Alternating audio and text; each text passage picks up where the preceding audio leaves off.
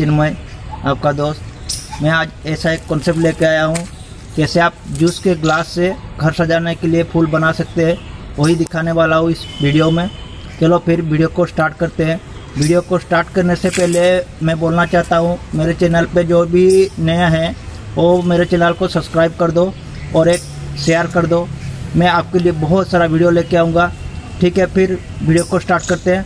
Thank you चलो फिर video को स्टार्ट करते हैं।